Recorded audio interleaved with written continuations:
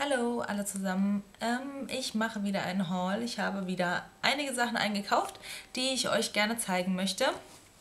Ähm, wie fange ich am besten an? Uh, uh, uh, genau, also erstmal hier das Langweilige sozusagen. Ähm, ich benutze eigentlich täglich immer ein Augenbrauengel, normalerweise von ähm, P2. Das gab es aber, ich weiß nicht, ob es nur an dem Tag es nicht gab oder ob es generell aus dem Sortiment genommen wurde, weil ich habe überhaupt keine Augenbrauengels, Gele mehr gefunden. Jedenfalls ähm, nebendran war halt der Essence-Aufsteller. Ähm, da habe ich halt den von Essence mitgenommen, dieser La Lash and Brow Gel Mascara. Und das ist richtig cool. Und das ist noch richtig klar, weil ich weiß nicht, ob ihr euch erinnert an meinen. Der hat halt schon die Farbe angenommen von meinen Augenbrauenstift und das sah schon ein bisschen ekelhaft aus. Jedenfalls ist der sehr gut. Also das ähm, hält halt die Härchen so, behält die Form einfach, dass der ganzen, äh, dass einfach den ganzen Tag so bleibt, wie ihr es am Anfang aufgetragen habt. Ja, das ist immer ganz gut. So, dann war ich äh, mit meiner Freundin ähm, im Douglas einkaufen neulich und ich zeige euch mal, was ich da alles so mitgenommen habe. Ich habe auch zwei super Schnäppchen eigentlich. Vielleicht äh, gibt es die ja bei euch im Douglas auch und habt Interesse. Das sind auch übrigens ganz gute Einkaufstipps für Weihnachten, vielleicht Weihnachtsgeschenke. Ähm, also erstmal habe ich mir wieder äh, meinen Bobbi Brown äh, Creamy Concealer Kit gekauft. Ich trage die Farbe Sand, also das sieht so aus.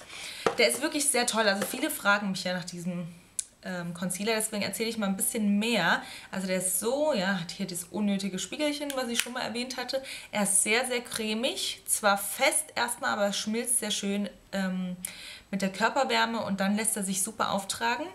Und es ist nicht zu dick, also gerade richtig. Bei mir perfekt.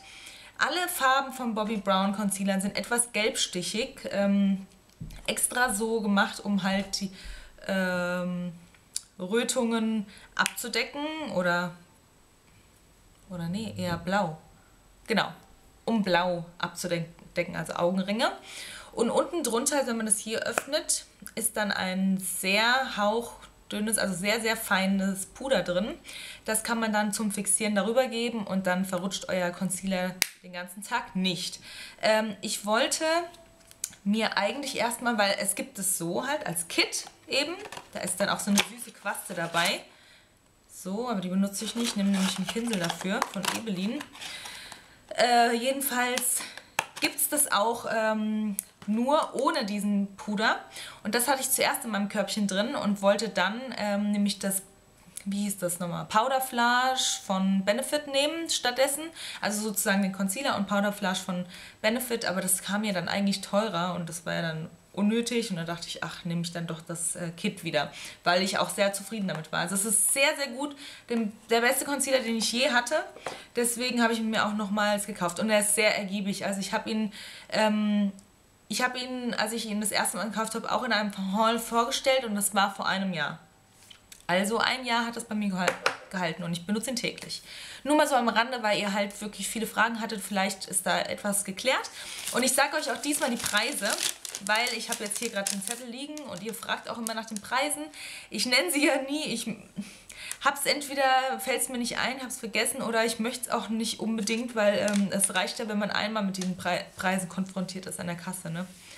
Naja, was soll's jetzt. Also 32 Euro kostet es. Es ist sehr kostspielig, aber es, er ist auch wirklich sehr, sehr gut. Das muss ich sagen.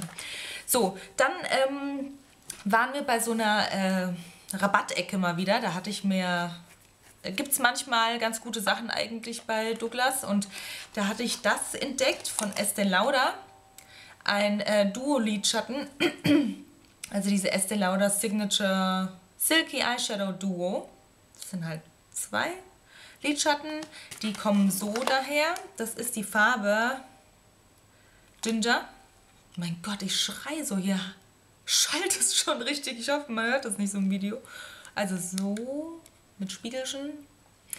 Und dann sind hier, also das, das finde ich ganz gut, weil hier ist einmal ähm, der Applikator, Schwamm, Schwammapplikator, aber hier auf der anderen Seite ist dann so ein Pinsel. Selten dabei ein Pinsel. Und dann, das sind hier die Farben sehr neutral, ja. Aber ähm, mich hat das Finish ähm, eigentlich überzeugt. Ich trage die äh, beiden Farben auch heute und noch eine dritte Farbe, die ich euch auch noch zeigen werde. Ähm, ich kann sie euch mal swatchen. Das hier ist ein sehr, sehr neutraler Ton, so ein Nude Beige, aber so perlig. Also mir gefällt das Finish, wie gesagt, sehr, sehr so perlig silky. Also man sieht es wahrscheinlich gar nicht. Also ich trage ihn halt auf dem ganzen Lid und auch im inneren Augenwinkel. Und dann hier die zweite Farbe ist so ein Schokobraun Schlamm. Da. Ja, das sind die beiden Farben. Und das war reduziert, wie gesagt, ähm, von 31 Euro ursprünglich auf 21,70. Also man hat ja fast hier 10 Euro gespart, ja. Finde ich eigentlich ein super Schnäppchen. Ähm, ja, das war es dazu. Und dann in dieser Schnäppchen-Ecke habe ich noch was entdeckt. Das ist dann für meinen Freund zu Weihnachten. Ähm, er bekommt nämlich hier, das hatte ich ihm schon mal gekauft, äh, von Dolce Gabbana, dieses, ähm, na, ihr wisst schon halt diese Reihe, da gibt es verschiedene Nummern. Er nimmt, also ich habe ihm schon mal die Nummer 1 geschenkt, die findet er ganz gut mit, das, wird. Das ist das Le Butler oder so. Äh, das sind 50 Milliliter darin. Und äh, das ist auch reduziert gewesen. Und zwar hat es vorher, ich glaube, 37 Euro oder sowas gekostet, was ja auch nicht so teuer ist jetzt. Und äh, war reduziert auf 27,30. Also das finde ich richtig gut für so ein super Parfum, was er auch liebt. Ähm, ja, das schenke ich ihm zu Weihnachten, weil er hat schon sogar auch sein, also sein anderes Weihnachtsgeschenk habe ich ihm schon geschenkt, weil er nicht mehr warten konnte. Und zwar ähm, Gran Turismo 5 für die Playstation 3. Darauf hat er halt schon ewig gewartet und das habe ich ihm dann halt schon gegeben. Das sind vielleicht auch so Tipps, wenn ihr nicht wisst, was ihr eurem Freund schenken wollt oder so.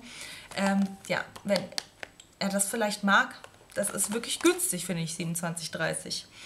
So, und dann ähm, habe ich noch ein paar Dinge bei MAC gekauft. Ähm, einmal, also zwei Lidschatten-Refills. Das ist einmal hier, heute wird es französisch, Tête à Teint oder so.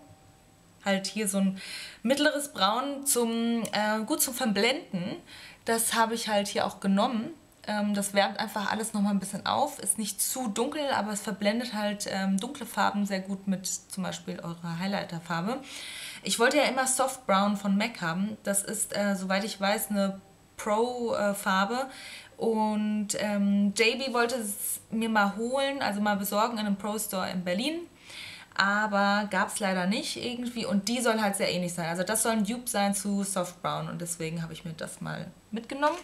Und ähm, ich habe, das habe ich noch gar nicht ausgepackt, äh, Sumptuous Olive, Olive, gekauft. Das war auch schon sehr lange auf meiner Liste. Ähm, übrigens kosten die Refills jetzt 13 Euro. Der Preis ist gestiegen. Das habe ich auch gar nicht gewusst. Aber naja, das ist halt so ein Olivgold, würde ich mal sagen. Sehr, sehr schön. Da freue ich mich schon sehr darauf. Das ist die Farbe. Äh, und dann habe ich mir noch einen Lippenstift gekauft. Das ist der, den ich gerade drauf habe. Hm, heute sparen wir uns die Lippenswatches, weil ich ihn schon trage. Das ist Rebel. Ein schöner bäriger Ton. Ähm, den habe ich mir gekauft, weil viele von euch ihn mir empfohlen haben, hatten weil ich in einem Video mal äh, diesen von P2 getragen habe, dieser 140 Rue Saint-Honor. Dieser hier, wir können mal Side by Side swatchen. Das soll halt die bessere Version sein, weil ich habe ja schon mal erzählt, die sind zu cremig vom P2 und die flutschen einfach so schnell weg. Das hat sich, da haben sich nicht mal die 1, 2 Euro gelohnt. Und ähm, es ist tatsächlich sehr, sehr ähnlich. Also das hier ist der MAC, das ist von P2. Allerdings, und das ist doof, ich habe ihn nämlich einfach so genommen, ohne ihn zu testen, ohne ihn nochmal anzuschauen, ist es ein Satin Finish und ich hasse Satin Finishes von MAC. Äh, die sind so, ich meine, sie halten sehr, sehr lange natürlich, aber die sind mir zu trocken irgendwie. Und wenn man ihn nochmal darüber gibt, also wenn man nochmal äh, aufträgt, dann wird es so dick irgendwie nach einer Zeit. Das mag ich gar nicht. Also ich habe auch, ich habe noch einen, das ist Cherish und den trage ich auch so gut wie nie, weil ähm, einfach wegen dem Finish. Das finde ich total schade jetzt. Aber gut, ich werde ihn trotzdem tragen. Vielleicht mit einem Gloss darüber oder so. Jedenfalls, ich mag halt dieses ähm, Tragegefühl nicht von dem Satin Finish. Ähm, das war's auch schon. Ah nee, noch eine Sache. Äh, und dann habe ich mir noch das gekauft. Das ist von Paul Mitchell. so ein extra Boost, ähm, Daily Boost, ein Root Lifter, ein Volumenspray für den Ansatz. Wie viel da immer drauf steht, oder? Das hat gekostet, also der Lippenstift übrigens äh, hat gekostet äh, 18 Euro jetzt. 18 Euro, ja. Äh, und das kostet 10,95. 10,95. Ja, das ist hier, das, sowas habe ich Ewigkeiten gesucht. Ähm, sowas, dass man hier einen Haaransatz mal sprühen kann. Also gezielt und das soll halt mehr Volumen geben. Ich habe es noch nicht ausprobiert. Jetzt das ich jetzt eigentlich das erste Mal mal sehen, ich weiß nicht. Weil, ähm, wie ihr wisst, habe ich ja sehr, sehr glattes, eher feines Haar und das hängt halt dann manchmal runter wie Spaghetti. Und deswegen versuche ich vielleicht irgendwie mal so ansatzmäßig was zu machen. Merkt man da schon was? Ja doch, irgendwie, ne?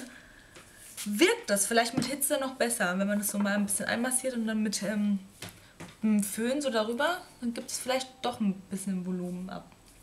Jedenfalls werden die dann griffiger, man kann besser damit arbeiten, mehr Volumen, mehr Körper, so Body halt, ne? Ja, es riecht sehr gut. Ja, das ist schon mal ein Plus. Es ist immer ein Plus, wenn etwas sehr gut riecht. Ja, also so. Naja, ich werde es sehen. Ist jedenfalls ganz angenehm. Es klebt auch nicht. Es ist gar nicht wie so ein Haarspray irgendwie. Ob das dann hält. Naja, jedenfalls, das war eigentlich, das war mein Haul schon. Ähm, dann gab es noch, Moment, dann gab es noch zu äh, jedem Kauf ab 30 Euro so ein Geschenk von Douglas. Das finde ich ganz süß, sehr aufmerksam. Und zwar hier so eine Weihnachtskugel. Voll süß. Jo, so eine silberne Weihnachtskugel. Collectors Edition 2010. Die magische Wunschkugel. Uh. Ja, mit hier so einem schönen Design. Wollte ich euch nur mal sagen, vielleicht ähm, lohnt es sich dann noch mehr, da mal was zu kaufen. äh, ja, das war, war jetzt wirklich mein Haul irgendwie voll kurz, voll komisch. Egal, besser so, oder? Viele mögen ja mein Gelaber nicht, also diesmal ein kürzeres Video. Also, ähm, ja, äh, ich wünsche euch einen schönen Tag. Danke fürs Zusehen und wir sehen uns im nächsten Video, wenn ihr mögt. Bis dann. Tschüss.